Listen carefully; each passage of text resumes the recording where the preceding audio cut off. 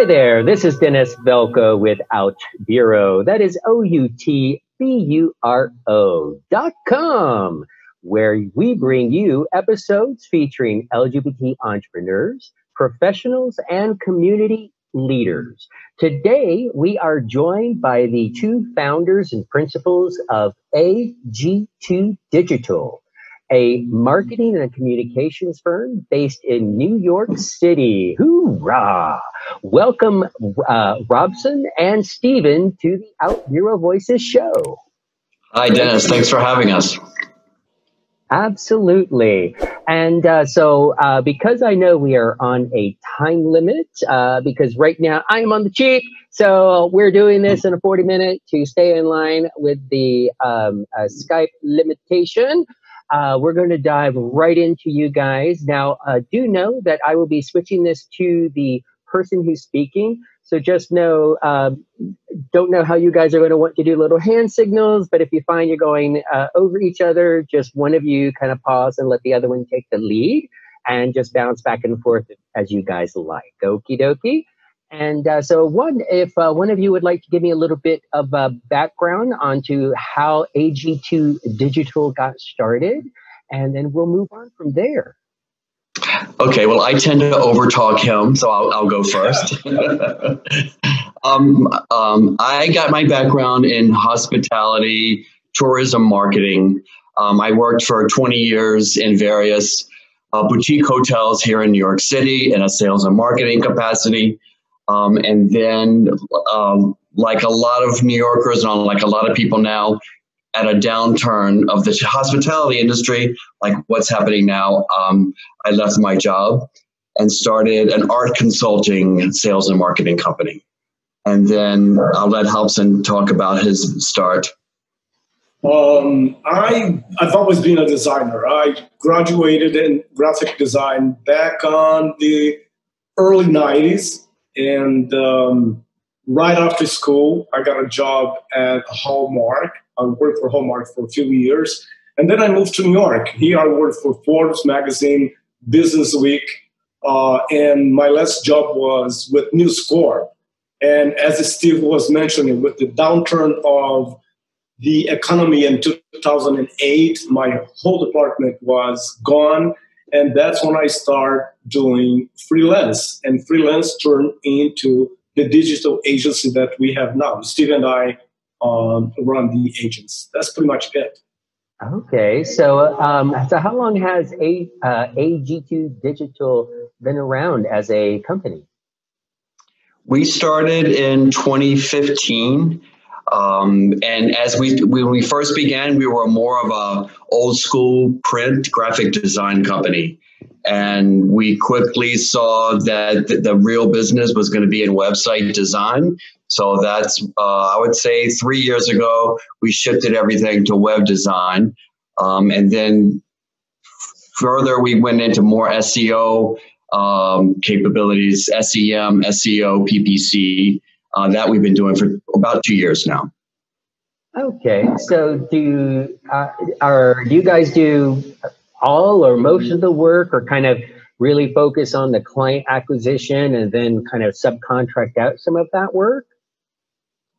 Robson does all the design work, um, which is amazing. We subcontract out the some of the SEO work and the social media uh, advertising. Okay. Uh, uh, cool beans. Now you are in the New York City area, so therefore, I bet you guys have seen a lot of uh, change here in the COVID. But I guess before we get to kind of that, to understand the impact of COVID uh, on your business, let's kind of back up and talk a little bit about as you were starting your business. What are some of the ways that you guys have, um, you know, found your clients and you know got the word out about your business? Yeah um, definitely. We started the company um, and I, you know i just want to back up a little bit and say that Robson and i both were never entrepreneurs to begin with.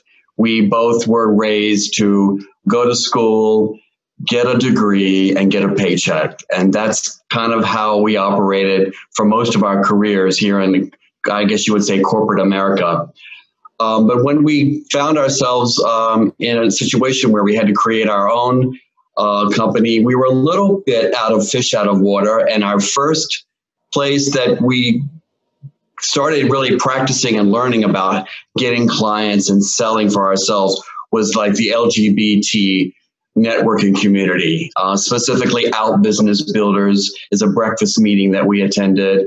We joined the National Gay and Lesbian Chamber of Commerce, and that was how we got our first clients. Um, and that still to this day is where we're getting the majority of our clients is the networking that we've been able to do within the uh, in LGBTQ community.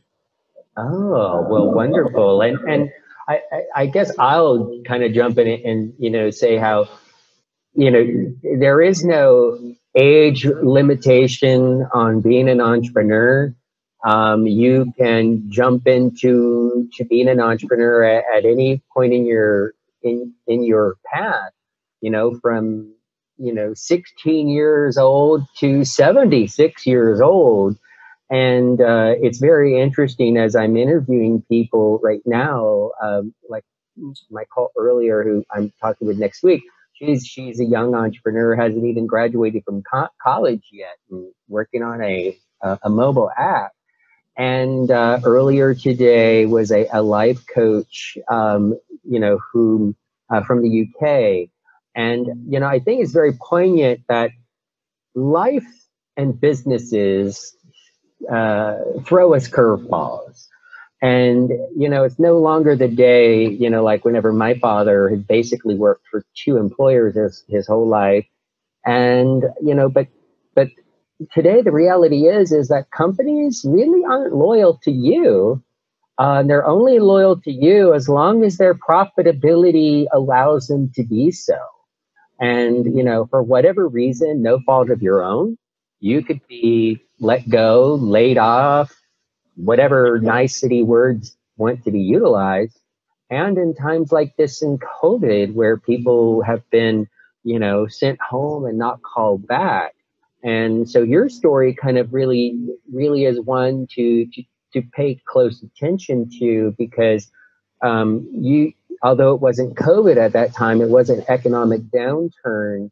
Uh, so there's that similarity and out of it, uh, what I'm hearing is out of necessity, um, you had to kind of shake the old mindset that uh, and the and the fallacy of you know that corporate America is going to look out for you and be your mainstay, and so you had to dust that off and do it for yourself.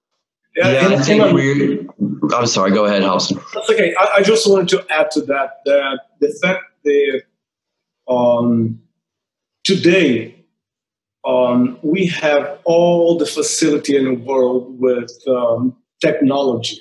You know, you have a computer in your house and you have a printer, and right there and then you have an office full at people's office. You can communicate with anyone anywhere in the world, uh, and that makes very easy to be your own business, your own man. So I just want to add to that. And we're perfect examples of the of the situation. What's happening now with COVID is exactly what happened to us.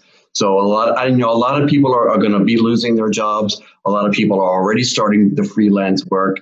We're here to say that it can be done, and ironically, that's what we do. We help other individuals or small companies brand themselves, which um, and to get online, we offer all of the things that you would need the brand the logo the website um, the, the seo capabilities we you know and ironically our business has grown more in the past two months because of the services that we offer that we've experienced uh, in, in, in, years.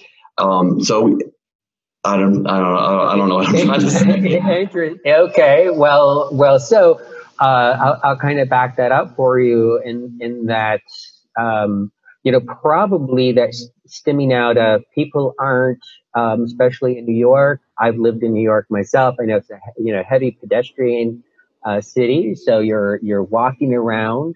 Um, you know, you're taking that street uh, uh, um, taxi or Uber or Lyft. Uh, yes, you do do the subways as well, at least whenever I lived there. But a lot of, you know, when you're living in New York, for those that aren't aware of it, yes, it's this huge city, but it's also small communities. Um, like whenever I lived there, you know, I, we had some of our favorite restaurants that we would go to, you know, the ones on a regular basis were within a couple of blocks. The, the, the little place with the flowers on the corner were just two blocks away. I always, if I can, I always love fresh flowers in the house.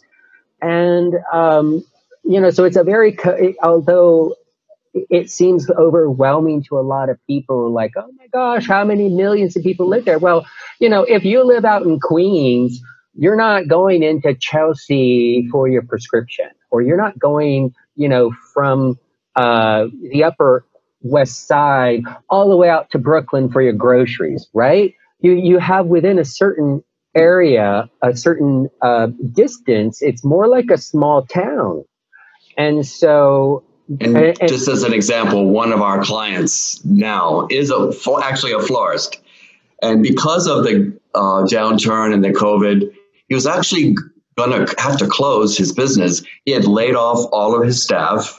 He was not sure he was going to be able to pay the rent, and he's also a member of one of our networking groups. So we met with him, and we, you know, we had been talking about SEO for months, years with him so he finally agreed that to do it. And his business, and after one month of local SEO, working with his Google My Business platform, uh, getting him signed up with local listings, he was able. He his business is now where it was before the coronavirus. Um, wow. His, it's it's it's incredible.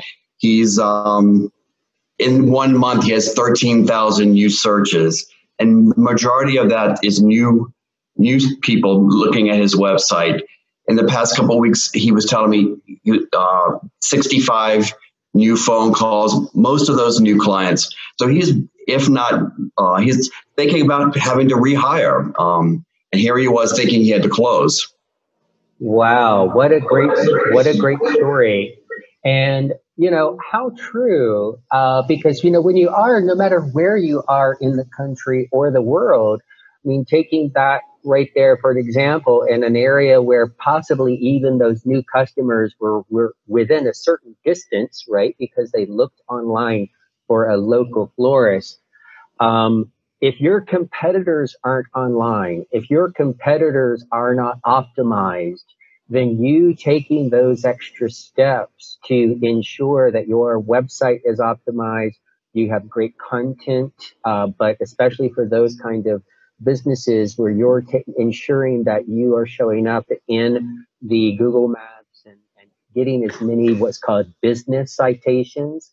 A business citation is a listing on a local service.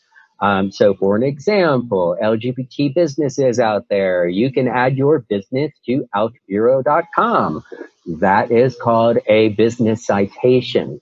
And that all helps your overall business uh, website ranking move up. And it helps, uh, especially when you have your full address, uh, when Google sees that you are on uh, you know, X number of sites with a business citation listing, not only are you on their record, but when they see that you are also on all these other websites, Yelp, you know, uh, whatever other uh, business site listings there are, that's going to further give power. Give Google says, oh, yes, that is a business. It is because I see all of these listings on all these other various websites.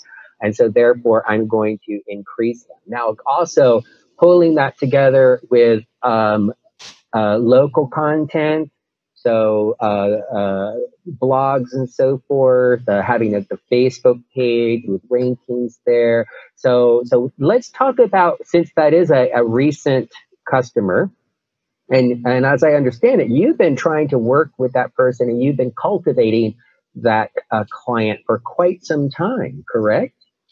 Yes, and I think maybe Robson could talk about the process that we went through with him, um, the branding process, and the process that we go through, and how we took him um, from a, a, logo to now being very successful. Yeah, uh, uh, Lafro Darlan came to us, uh, I would say four or five years ago. He was one of our, of our first clients. He came to us because he was rebranding. He was changing his address and he was rebranding. And through that, we created a new logo, we created a new website for him, new content, uh, social media platform, uh, all the collateral material for the store as well. Uh, and we branded it in such a way that it matched the interior of his store. First, he got an architect and did his store with the colors that he wanted, with all the image that he wanted inside, uh, the pattern of the wood. And from that, I derived all the creative elements. And it, the, the website and the store, they are a perfect match. And then once we did that, that's when we came with the idea of enhancing his business with SEO. But he was doing so well at the time, and everything was working so perfectly that you know we took a little leap to get him to do SEO. So as Steve was mentioning, just recently he switched to SEO as well. But he has been a client of ours for, for many, many years. Um, and you know that's how uh, Lafro came to us. Okay. I think he's, you know, he's obviously benefiting from the fact that internet use is up by 70% since everyone started staying at home. Um, and d- data usage on your phone is up by 47%. Um, and I was looking at this statistic. The um, you know when someone buys a product at a store and then goes and picks it up, um, like you would do at Home Depot or any other store like that, that kind of purchase is up 554 percent.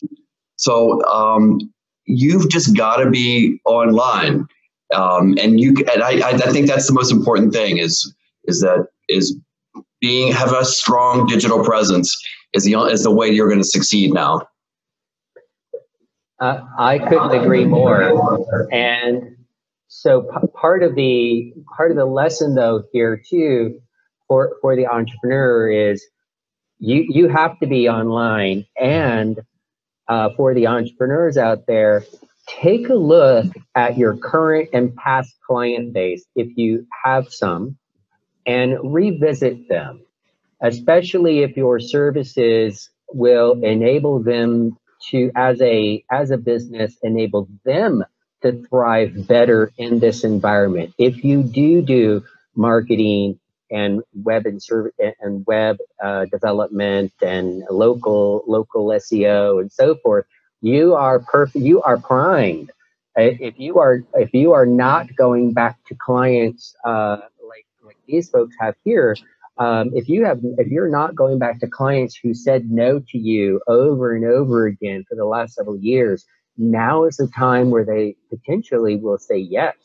Because look at this as a case in point right here as to, to how valuable that is. Because there you know being in new york again getting back to that foot traffic that florist was was doing great had a beautiful shop and that's what gets those people who are walking by on the street front uh, to walk in right?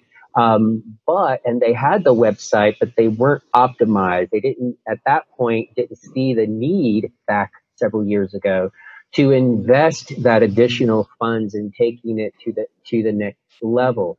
And um, and that's okay because because now look at what uh, has been able to to be to be accomplished. So exactly. And another thing another thing that uh, uh, people in business have to think about is um, your presence online it is extremely important because your presence online is going to give you reviews and over 90% of people who shop online look at reviews. If you have less than 4.0, they would move away from you immediately. So you have to have a presence not only online, but you have to have you have to keep that up in order to have good reviews. So you know, I would eat anywhere at this point in New York City. There's nothing. We've been we've been restaurant deprived for so long. But anyway, yeah, it's true. Like I, you know, when, when restaurants were open and we had our choice, you know, anything less than a 4.3 or, you know, below, I, I, I just wouldn't go. Um, you know, Nancy Pelosi said that all roads lead to Russia right? In my case, I make I'm changing a little bit. All roads lead to your website and your Google reviews. Um, and you know the, the, you know the Google is offering an incredible free product. Um, you know, Google My Business is such a strong platform now, and just downloading photos. You've got 20 or 30 photos, you're already beating your competition, and you're going to get much more hits. Google loves photos on your Google My Business. Um, by putting your business address in the footer of your website, so that Google can verify the website address to your Google My Business, again, you're going to increase your search capacity.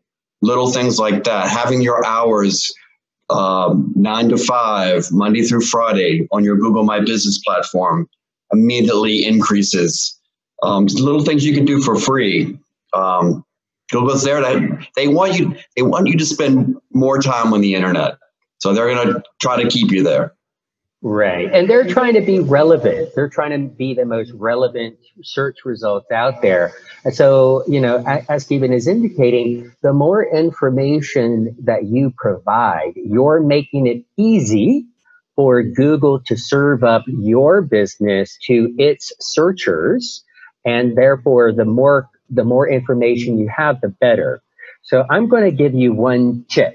And, and it's the reason why when you search, uh, Google for LGBTQ or LGBT entrepreneur, LGBT professional, or um, LGBT employer ratings or LGBT reviews, L- LGBT employer reviews, Why OutBüro is either number one or on the first page. So here is a tip for you. When you are uploading those images, don't just take a photo and go upload because if you do, guess what? The image file name, the .jpeg file name on that is going to be something like image 300178.jpg. Well, what the hell does that mean? Yeah. It means nothing. So if you can Google this, how to search engine optimize your photos. So what I do is every single image on my website of outburo.com, every single image is keyword optimized in the file name itself. So it will say something to the effect of OutBüro dash LGBT entrepreneurs, corporate equality employee ratings, LGBT or gay, lesbian, transgender, queer online community dot JPG, right? So all of those keywords are stuffed in the .jpeg uh, uh, file name or PNG file, you know, file name and so forth. So when you get that to your website, there's additional things you can do there, and that's I will leave it to these great folks to inform you. I don't want to take away all those secrets. However, you can Google it. It's not that much of a secret. But just so that all of you are aware, less than 1%, less than 1% of the websites that are on the internet right now do that. So if you just do that, you are already promoting yourself up to the uh, 1% category. Now, when you upload those images to your Google My Business page with all of the other information, those keywords on your e- electronic file name of your images are also going to help Google know exactly what your business is about. Because now it'll say, New York, Chelsea, flower shop.jpg, not just image 311707.jpg. So take that tip and run with it. And when you need additional help on furthering it, make sure you, you seek some professionals. You know what? You don't do your own taxes, do you? Probably not. Most business owners don't do their own finances or, or many other tasks. So it's just like that when you're looking at hiring professionals to help you stand out on the internet with your local searches and, and wider, it's best to hire a professional who does this all the time. Because Google will change it. Once it once you think you've got it, it will change. Uh, there's this new thing. Have you heard of BERT? I guess you've heard. Uh, BERT, I don't, I don't even know what it stands for, but Google's now getting away from keywords. Um, yeah. and that's why you know you might want if you want to know why you're being told to write blogs and do podcasts and videos, it's because Google likes big chunks of information now. And so if you can write copy and write blogs in a conversational tone that Google can understand, because now Google is moving to more voice searches. So Google can't just look for keywords. They want a big chunk of information. And that's why content marketing, blogging is so important. Absolutely. Uh, and that with those images are just one piece of the, of the huge puzzle, right? But that's one thing that, again, 99% of websites don't do. And there's an easy way to check that, by the way. Uh, if you go to your own website, uh, just hover over an image and right click it. You're going to see the alt, what's called the alt, uh, uh, the, the title and the alt text. Uh, and again, Google, Google image, uh, website image optimization. And if you go to right click and download, you're going to see what that image is, um, is named. Uh, so although Google, you are right, is moving away from the amount of emphasis that they put on keyword past, uh, that that image optimization is a is a huge gaping open opportunity where uh, the vast majority of people don't don't pay attention to. So and Dennis, uh, just to illustrate a, a service that we have for free. If anyone wants to know more details about their website, how it is running, and th- go to our, our website and we offer free reports on local SEO and SEO. All they have to do is type the domain of their website and they will have a report. Let them know exactly what you are saying. If they have misspelled uh, uh, um, images, if the website is running slow, if they don't have the right content, if they have broken links, all that would be in a report and we can talk to them and help them out to clear that out so they can take the report with them and do themselves whatever they need we are here for them awesome yeah and I, and I be, in order uh, to get in order to get that do they fill out like a contact form providing you their information? No no no. No they just type their uh, domain and the report comes up to them. It's pretty much that simple. Yeah. Oh wonderful. And I will point out that we are running some Pride packages. Um, so any everything from branding, website, and SEO is all on a on a page called ag2digital.com slash packages. So check it out. Good prices. awesome. Well, thank you so much for that. So, um, you know, being entrepreneurs is a difficult journey right? You know, you've got your ups and your downs, you know. It is, it is, it is very difficult, but it is very rewarding. You know, you you help people out. People come to us with a need, and we deliver what they want. We see them grow. We see our business grow. Uh, we deliver exactly what they want. We do research in their business. We come with strategy. We do implementation, and at the end, it is it is a 360 degree circle of just enjoyment. There is bumps in the road here and there because any kind of work that you do, we find bumps in the road. But at the end of the day, it is extremely rewarding. And it is very rewarding to work with the gay community as well, just giving back to people who gave to us. So that's pretty much. Awesome. And, uh, you know, um, I love, as an entrepreneur, I, I love the, the branding and the building phase uh, you know, getting the word out. And that's what this is really about, you know, because if, if, if you have a business, let's say you're, you're, you're a lawyer. Well, if, if no one knows that you exist, if they can't find you on, you know, there's multiple ways in which a lawyer should be marketing themselves. But you could say, oh, I went to law school and I'm opening my own practice and you, you, rent an office and you go and you sit in the office all day. Well, if you're not doing marketing, guess what? You're not going to get any clients. I mean, because you got to get those clients in the door somehow, and mouth, word of mouth will get you so far. But there has to be that constant, you know, education and awareness out there. And as, as you guys have pointed out and made it very clear, uh, you know, having that online presence, because no one goes to the yellow pages, you know, anymore, do they? I don't and, even know why they make them. Yeah, and part of our implementation is the outreach as well. Once your website is done, tested, implemented, we go further by you know getting contact with all the clients uh, of whomever has finished the job and communicated that there is a new website up there, there are new service up, uh, and we do that in print format and we can do digitally as well, whatever is the best suit for the client. Right now, we are working with a lawyer. We are just in a final phase of her work, and she wanted to do the outreach by print, which we are doing, as opposed to digital. She says that has a little bit more of a personal touch to get a card and to get a brochure.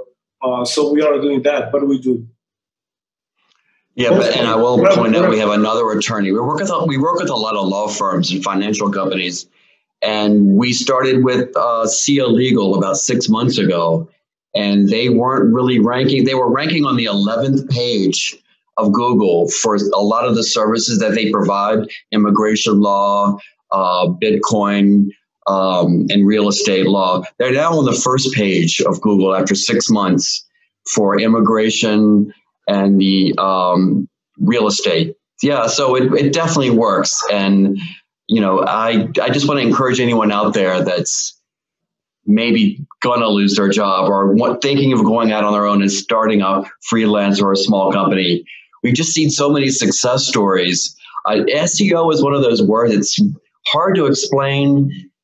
It's hard to sell, actually, but once you see the results, um, it's it's it's such it's such a good feeling to see and to watch someone business growing to be able to say yeah i told you so yeah in a good way yes there there's whenever i'm working on on um, things for myself it's like oh i'm going after these keywords i'm expanding my my vocabulary on what i'm going after and it's like i'm going after this and then after, you know, a, a, set amount of time and set amount of work and then seeing the result, like, yes, yes, yes, yes. And then seeing the traffic come in, you know, because of that. And uh, I, I can imagine how much, how rewarding it is for you because you get to do that on a regular basis with your clients and, and help them and guide them through all of the the critical critical things to take action on, and then and you begin to see those results. Uh, uh, to me, that's thrilling. Um, I enjoy it for myself, and um, I, have done a little bit of this work in the past for past clients, but uh, it's like I needed to focus on my own uh, business uh, um, for a while. So do definitely appreciate and value what you do. And again, for um, whether you're looking at starting a new business or you currently have a business and would, would like to take your game up into the next level, you know, um, you don't extract your own teeth, you go to a professional. Uh, hopefully you don't, uh, you don't have to file for divorce, but if you do, who do you use? A professional divorce attorney. So whenever you are looking at taking your business to the next level, uh, or launching your business, you know you have to focus in on on your online marketing. That is it is not optional any longer. It is a absolute must have. You also uh, it is no longer optional to focus on localization uh, if you do serve a local community. Um, and, and even if you're national, you still want to target, you know, major metropolitan areas. So you still need to localize, even if you're a national company. Uh, so hire hire folks like uh, AG2 uh, right here and uh, support your local, uh, uh, support your other LGBT businesses. And, and as you heard, they have some special offers here in the month of Pride. we have just a few more moments here. So if I could, if you guys could share a little bit about how you guys kind of handle the stress, what you guys do uh, to kind of let go and relax. I personally like to go on a, a lot of walks and hiking. What do you guys like to do? I play tennis. Um, nice. I play. I before COVID, I was playing once a week or so. It's difficult in New York, um, oh. but I do play tennis. I bought a bike recently um, okay. to try to get a little more exercise because my obviously my gym is closed, and so no more yoga classes. I'm doing yoga on YouTube. Yoga with Adriene. Wow. Check it out. yoga with Adriene. All right. How about you, Robson? Yeah, uh, you know, I I'm privileged to live in New York City as I am the law, a love the arts. I go to the museum constantly. I go to openings. Uh, I am a foodie, so I eat a lot out, uh, and I like to travel. We were we were just in Cartagena a one week prior to the closing of the airports, which was I still have a friend on Peru she lives in Germany and she has been there like for four months. So I love to travel as well. So in New York City, you know, is a city that you can do so much. Um, so in addition to movies and all the things that the city has to offer. Right, absolutely. Well, well, well, well, good to hear that you guys have some balance in your life. I know it's uh, can be challenging as a small business owner and, and working with other entrepreneurs who have deadlines and want things done yesterday. Once they make a finally get, get off the horn, get off the uh, boat and make a decision, right? It's like, oh, I want this done yesterday, right? Uh, so uh, definitely good. You guys have your your hobbies and things to focus on what balances you. Uh, so again, that is ag2digital.com. Well, I thank you guys so much for taking time out of uh, the day today to chat with us and uh, especially sharing your success story with the local florist. I think that's very uh, a story that is uh, right on point for today. So I'm sure folks will be very interested in, in hearing that and looking at that as inspiration. So thank you thank guys. You, so, thank you hey, for thank so you, much for uh, joining us today. This is Dennis Velco with Out Bureau Voices. You can find this episode and others at outburo.com. That is O U T B U R O dot com. And that is now changed to episodes up at the top. And if you are viewing this on YouTube, please go ahead and hit that subscribe button down below. Also, be sure to check it out on the different uh, um, podcasting websites such as Apple Podcasts, Spotify, Stitcher, iHeartRadio, and about 10 others. You can take this on the go. Thank you so much. Have a great day. Bye bye. Thank you.